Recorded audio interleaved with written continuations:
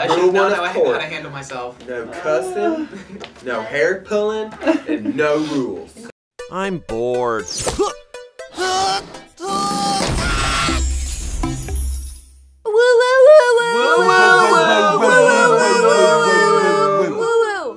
Hello! That's what we do before we debate which is what we're gonna be doing today. We're playing the Smosh edition of Master Debaters. We have a we have a game at Target, guys. Isn't that crazy?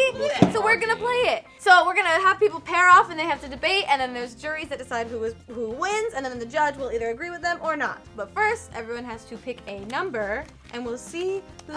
No, you can't have that one. You can't. Don't share your number with anyone. Okay, top secret. Except Shayne, though, Keep a right? secret. Everybody has their number memorized? Yes. Okay, good, because I don't, and luckily I'm the judge. Okay, so we're gonna do three rounds of this. First round, the debaters have 30 seconds for opening statements, and then 30 seconds for rebuttals. And then the second round is 20 seconds, and the third round is 10. Ooh, challenging. What? Okay, people who are not being the master debaters for that round are the jury. Okay, ready? These are our first two. Five and two. Five and two! What the hell? What? It's on camera. Ah! I'm five. Wait, I'm you're- two. What? That's creepy. The prompt is What is the worst sound in the world? The first person has to say what the worst sound in the world is, and the second person has to defend that sound and say why it's not the worst. Five, four, three, two, go. Now, ladies and gentlemen, you know me. I'm just a southern lawyer. Uh, but I think that the worst sound in the world is somebody chewing chips right next to your ear very closely. Because not only do you get the crunch, hard dryness of chips, but you get the slapping, sweet, spitty sound as well as they're trying to digest it with their mouth enzymes. So uh, you get you get you get dry and you get wet at the same time, and all of it's offensive and it hurts, and you just feel it shiver down your spine, and you're like, oh no, I don't want none of that. I became Lee Russell from Vice Principals. Okay, and begin. Ladies and gentlemen of the jury, I'm just another southern lawyer. now, my opponent here seems to think this is the worst noise, but I can think of many worse. Has anyone ever sucked on a peppermint a mere inch from your ear? Or has anyone ever scratched a chalkboard? Or has anyone done this? Ah! I contend these are far worse.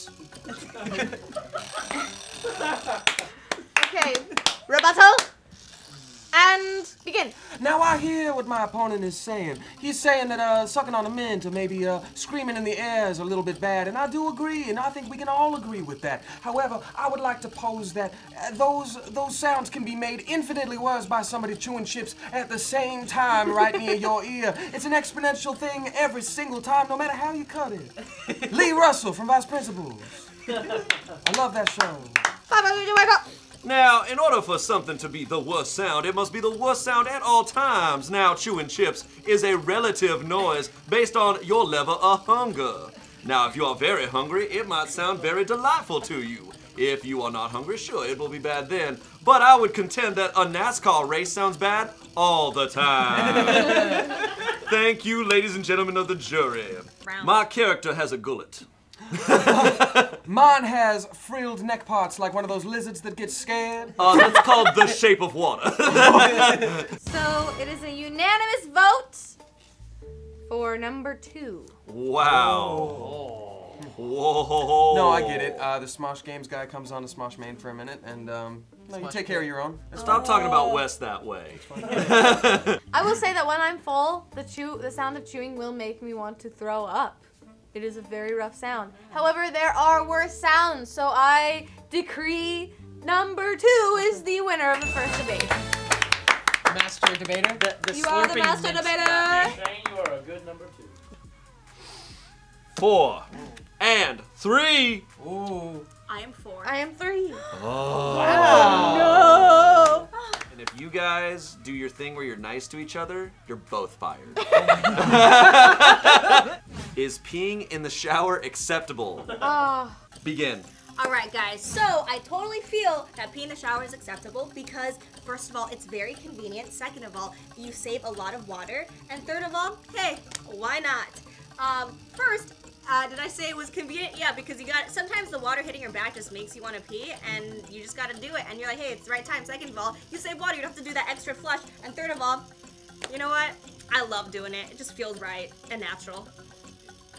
Why are you so confident? You're like, Because it took speech and debate. Here's your opening Yes. statement. Hello, peeing in the shower is not acceptable because it is an extreme waste. First of all, you have to pee down your legs, thus you are wasting more water because you need to take more time to scrub your legs clean, and you are not using your toilet. AKA, you have a toilet that you are not getting your money out of. That is a waste. You are making your legs sturdy. You have to scrub more, thus making your loofah more worn out, and you have to buy another loofah sooner, and you have to use more body wash so that you can get so you can scrub your legs, and your and your toilet is very lonely. Your toilet's lonely. Olivia, are you ready for your Yes. rebuttal? Begin. Yes. I know I said in the previous um, time that it's, it, it, that it's very you, you are saving water by not doing that extra flush, but you're also saving toilet paper, which is very expensive sometimes. Therefore, because you're in the shower and you can conveniently, you know, wash your private parts. So you know you're saving a lot, honestly. So yeah, go pee in the shower, guys. Yeah. You guys seen Degrassi? It's really good. yeah. Oh. Here's my rebuttal. So, some people, what they like to do when they just pee in the toilet, they just leave it there, and then you keep saving up your pee, and you keep peeing and peeing and peeing, and then you can use one flush for multiple pees. Even more saving water. Sometimes, you, you um, when it's just pee, you just have to use a very little toilet paper, whereas you're wasting multiple products in the shower. You're wasting shampoo, you're wasting the loofah, you're wasting your own gosh darn time. When, and also, a toilet is made for one thing, shower made for the other. You, shower's not supposed to get dirty and Uh, Let's count the votes. We have three for four. Oh, it's up to the judge. I think we have to trust the, the jury on this one. Congratulations, Olivia. Yeah, good Peeing in the shower is very good. I agree. In real life, It, I it pee was in the shower. to it's hard to It's defend hard a case that you don't believe in. yeah, I love peeing in the shower. I do it I every day. I know. I'm just really upset that you won. Well, I'm gonna be the judge now in this round. Okay, so we have two more numbers left. Two more people. I wonder who it's gonna be. Number six. You thought for a second if that was nine. Yeah, I did. Yeah. and number one. And your prompt is coconuts are nuts. All right, coconut is definitely not. It's in the name. It's in the description. You open it up and it's sweet and delicious inside, just like a regular nut. It's got that nice shell and then the delicious little filling. It even has milk in it. What comes from milk? Almonds. Almonds are also nuts. That's really good. Yeah, Come on. Wow, okay. What? I don't. Do I have to argue anymore? I don't Yeah. think I do. I'm just gonna sit here and say how delicious too. coconut milk is. Yeah, It's I don't- delightful. It's delicious. It's good for you and healthy. Coconuts are healthy, just like nuts. Yeah, yeah. Ring. Protein in there, That's pretty good. I would like to argue that a coconut is improperly classified, for a coconut comes with milk already in it, as opposed to other nuts which you have to squeeze out. Along with the fact a coconut has three holes, think closest to a coconut that also has three holes, a bowling ball. Can you bowl an almond? No. You can't. You just can't. Therefore, coconuts are closer to bowling balls than they are to nuts. All right, so my opponent said that coconut's not a nut because it already has the milk inside. That just means it's more convenient of a nut than an almond is, or anything else that you would squeeze stuff out of. Coconut was just like, you know what? I want to be the best nut, so I got this milk right inside. All you do is crack me open, and there it is. You know, it's all delicious. It's really, really good. If you like nuts, you'll probably like coconuts because it's a nut, and it's in the name. Also, it put, it's put in desserts, and it's really good. Cool. I would like to argue that my opponent's statement that just because nut is in the name, that it is a nut, a coconut is nowhere near any part cacao, even though it's got cocoa in its name. I would like to also comment on the fact that he said that it's just like an almond in the sense that it's more convenient than one, therefore it's a nut. A cashew comes in any sort of peanut mix, it's very convenient to eat, and yet it's closer to poison ivy than it is an actual nut. Therefore, I believe coconuts are closer to bowling balls than actual nuts, just like a cashew is closer to ivy than a peanut or an almond. Thank you. Wow. Dude. Number one. Number one. Number one. Oh, Another Oh, unanimous. big Another round. unanimous It's up to the every judge, time. though. It's up to the judge. Although I think coconuts are nuts, I really enjoyed your argument, Thank you. Noah. Thank you. So number one wins. Oh, you think coconuts are nuts? Ooh. How should the word, and I'm going to spell it C A R A M E L, so caramel, caramel, how should it be pronounced? One is caramel, two is caramel. So let's give it a shot. Either way you spell it, it's delicious. We are not debating on love deliciousness. Ladies and gentlemen of the jury, uh, the English language is not consistent. It never has been. Caramel is the accepted term used by most people. Uh, a lot of words and letters don't make sense. Caramel would be correct if we use Spanish pronunciation, but we don't. Okay. I would like to stand here and argue on behalf of the baker who originally invented caramel, caramel, uh, that he put lots of care into it. I was showing that, that you can pronounce it either way, but it needs an uh at the end. Caramel, caramel. There's a second A that my opponent is not pronouncing, and that is honestly disrespectful to the original baker. He spells it. We have to strike original Baker from the record because it happened after the ding. Bakers do not make sweet candies. Uh, for one, that's a very different thing. They used yeast. Uh, now, I'd also like to point out that my opponent said the word that I said. Uh, did you not hear? Also, he's a very bad man. He threatened my life before this debate today. I would love to openly debate whether or not I threatened my opponent's life. Prior to this debate, no life was threatened, merely the ability to walk later. I did threaten that I would break both of his kneecaps if he called me out on pronouncing his side of the argument uh, correctly as opposed to my own side of the argument, and now that he has, I will be hurting him. He wanted to I Tonya me. Oh God! I did. I did. It was really dark for a Nickelodeon show. One for number six. One for number six. Oh. and one for number six. It's been unanimous every time. Uh oh. Well, I will say, as the judge, I do have power to veto this, but I won't. You said his word. I, I said, I said you are caramel. Play back the tape. There was an A. All right, so I'm the judge. Ooh. Why is the person sitting to your right the c- coolest person in the room? Cannot include the judge. Oh.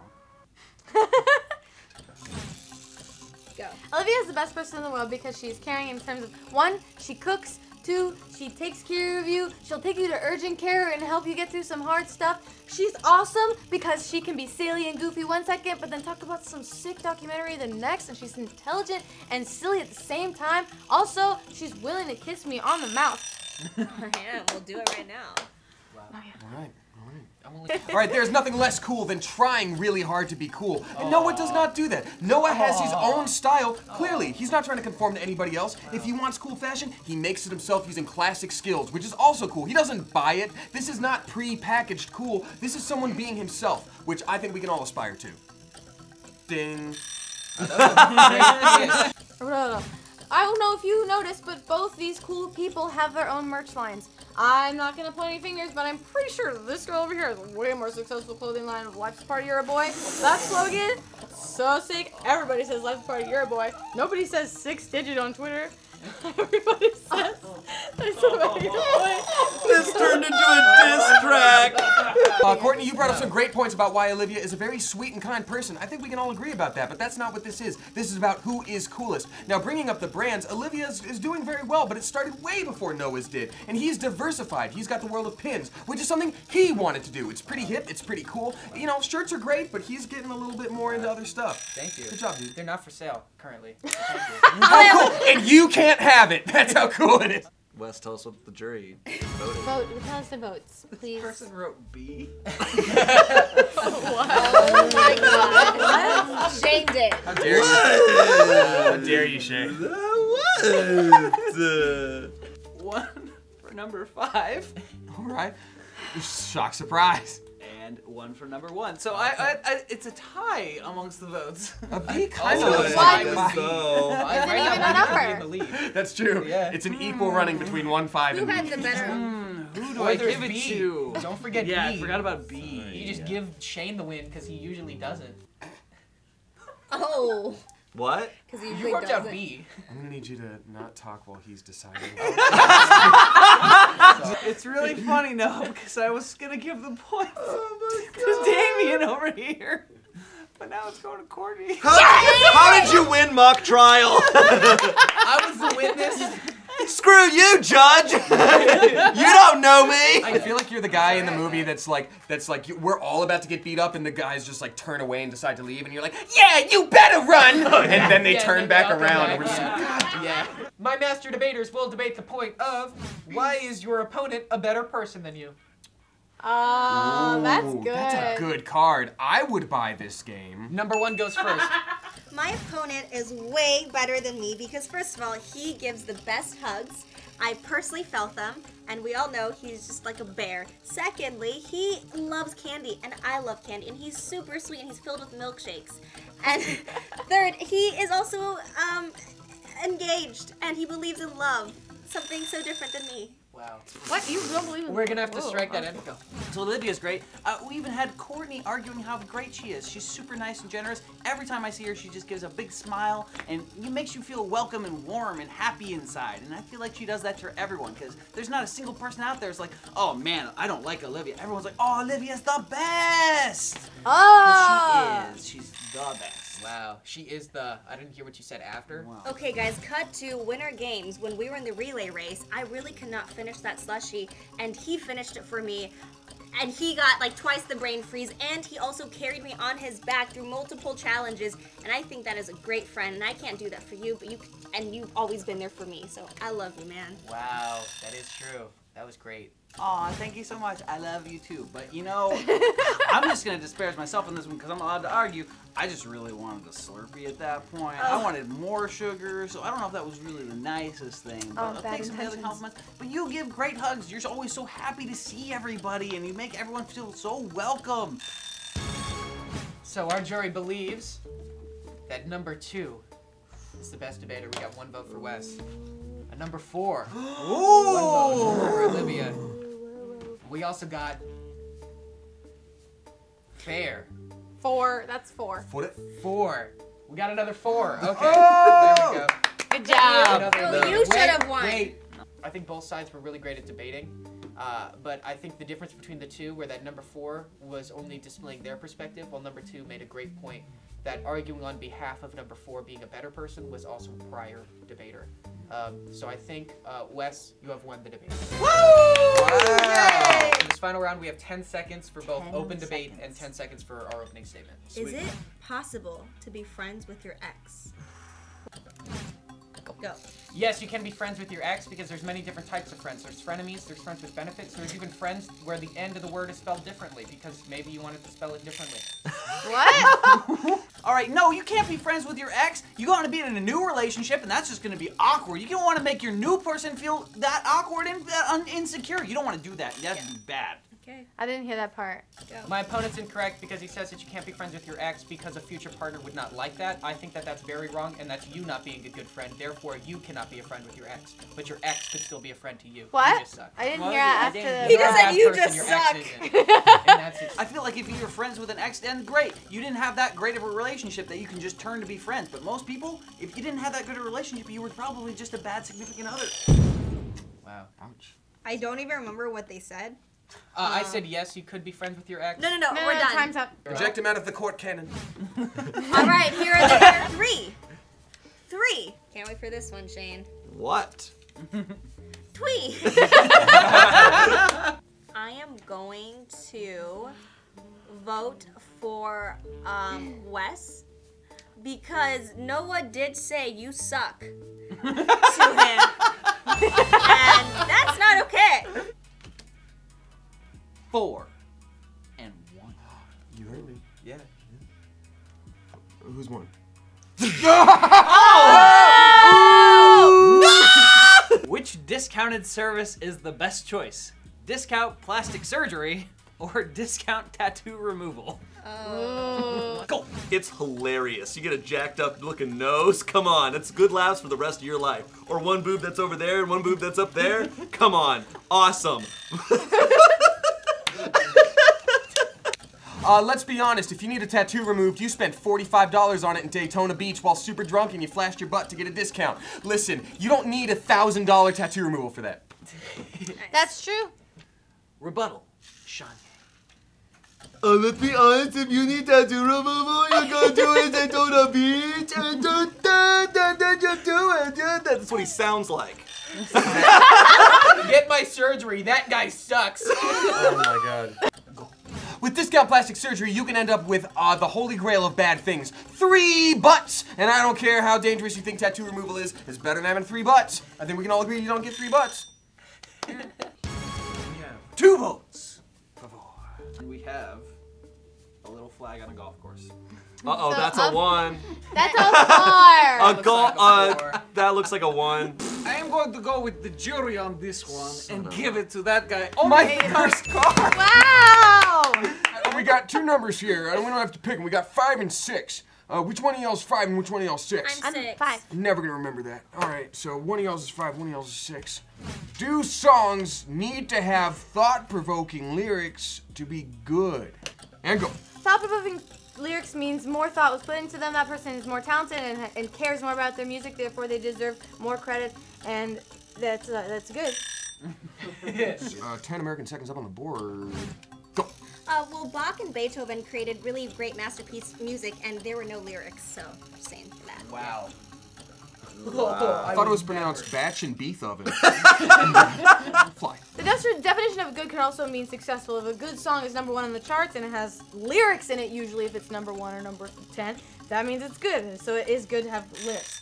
Olivia, bringing it on home with those 10 second rebuttals. But I al- I'd always say that, like, even though the songs are good, sometimes they're timeless and international, just like how Bach and Beethoven's music, it's international and it's timeless. Hey. Wow. We got one vote for number six. Beep, beep, beep, beep, beep. We got one vote for number six, turned into a dog with a wiener nose. Oh, wow. And Damien sucks five from Shayne, which is invalid. Um, therefore, Ah. we gotta give this one to Olivia. Right, so we've got a three-way tie. No matter how many people tie, there's still one way to choose the winner in this game, and that is everyone who is tied for first place chooses a card, and they pick whether the pro or con side of the debate for that topic. All three people debate a different topic, whatever side they want, and then we choose of all three topics who just the best, the most masterful Who debater sold was. In 15 seconds. So what are you debating? Uh, that cupcakes are the superior form of cake. Ooh, your 15 seconds. Go. They are superior because they can form mass armies. They can fit in your pocket if you have very large cupcake-shaped pockets. Uh, but one giant human would not be as good as uh, the population that we have on Earth. Uh, I think saying you don't like cupcakes is saying you don't like people. I'm debating that movies are better than TV shows. Ooh. Okay, you ready? Yes. 15 seconds. Go. I think movies are better because it's more social. You can invite all your friends to watch a movie, and, and, and TV shows are harder because there are pauses in between uh, episodes. And I think movies are better because it's a whole experience and a journey in an hour and 50 minutes rather than two years. Wow. All right, Wes, what are you debating? I'm going to be arguing which would be a better place to live at uh, a closet in Hawaii or a mansion in Ar- Antarctica. What's better to live in? I'm going to go with the mansion. Ooh, in Antarctica. Okay, let us know. You ready? Go for it. All right, so closet, pretty much living in like New York City. Mansion in Antarctica, you got free snow cones all over the place. You got free water. You just go outside and melt it out. And if you got a mansion, you got cool stuff like TVs and all that sort of stuff. Closet, you're standing straight up while you're sleeping. That ain't comfortable. Wow. Okay. Um, I chose as the most masterful debater, um, Olivia. Thank you. Um, I chose as the most masterful debater, uh, Shayne Topp. Um, uh, I picked Olivia also. Olivia! Yay! She's so right about movies. I would say we're all master debaters in a way. In a Oh, way. and we have this awesome game that we played, and it has Yeah. Yeah. our channel written on the box. That's really cool. Yeah. Uh, you can check these out. They'll be showing up in Targets uh, all around the country. And uh, online, too. And online? Yeah. Even better. Look at that. You could say it's a Smosh game. Get off our channel. Get actually. out. Go. Go. Go. You Remove have your yourself. I was Remove promised yourself. cookies. Yeah, I was Where's promised Wes would have cookies, so I Remove yourself. we love you guys. Post in the Bye. comments if we Hit should the play it notification again. bell. We love you. Hit the notification bell. Love you. Bye. Bye, guys. Bye. Thank you so much for watching us play Master Debater Smosh Edition. If you want to pick up the first Smosh board game ever, it's available only at Target, in stores, and online.